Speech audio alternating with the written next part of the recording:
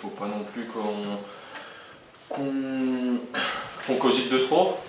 Euh, on s'est parlé, on s'est dit les choses et je pense que là aujourd'hui on a mis, on a mis assez d'intensité dans la séance.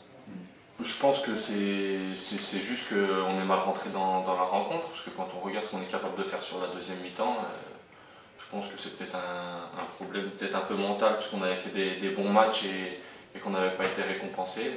Donc euh, on continue de travailler euh, en mettant encore un peu plus à chaque, chaque entraînement, un peu plus à chaque match, et, ça va finir par passer. Bah déjà, je pense qu'il faut essayer de, prendre moins de buts, être plus solide défensivement, plus compact, plus en bloc. Et, après, bah, concrétiser nos occasions. En ce moment, dans tous nos temps faibles, on prend un but et dans tous nos temps forts, on ne concrétise pas. Donc, euh, je pense que ça va être un, match où ils vont vouloir nous, rentrer dedans dès, le début de match, surtout que ces, derniers temps, nos, débuts de match ne sont pas, sont pas terribles. Donc, euh, je pense qu'ils vont, ils vont vouloir faire comme, euh, comme a fait Valenciennes, comme a fait Caen et, nous rentrer dedans dès, le début de, match.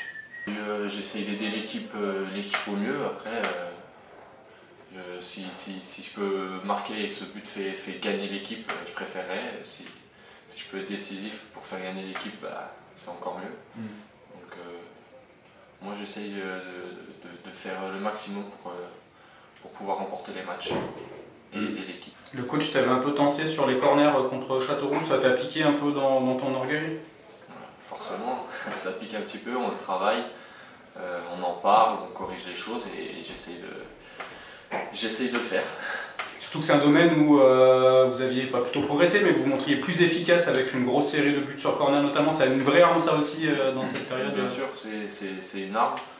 Euh, en ce moment, en plus qu'on n'arrive pas trop à marquer dans, le jeu non plus, donc c'est sûr que débloquer des matchs sur des coups de pied arrêtés, c'est important.